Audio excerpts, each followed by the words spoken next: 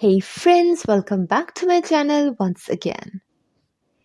Chaka Khan stands on her belief that Mary J. Blige did not rightfully cover her song Sweet Thing in 1992. The original R&B soulful song was brought onto the scene in 1973 when Chaka Khan was a part of the music group Rufus. A few years later, Blige decided to add her own version to her debut album What's the 4-1.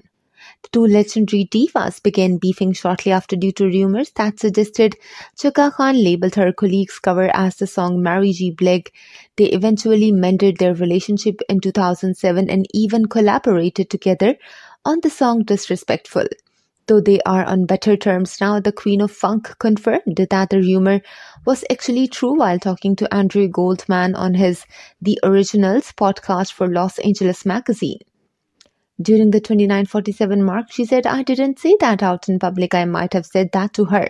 When asked why she believed that Blige didn't do her beloved ballad, Justice Khan admitted that the 52 year old's vocals were flat. I asked her, I said, What time did you, when did you, what time of day was it or night?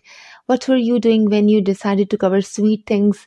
Where were you at when you covered it? She then imitated Blige's answer, Oh girl, I've been up all late, and it was eight o'clock in the morning, girl. She continued, If you would have been up all night smoking crack or something, I don't know, might have been different, a whole different thing, but you don't get up at 8 o'clock in the morning to sing girl. Before they switched topics, Khan stated that she and Blige have a solid relationship where they can be blunt with one another.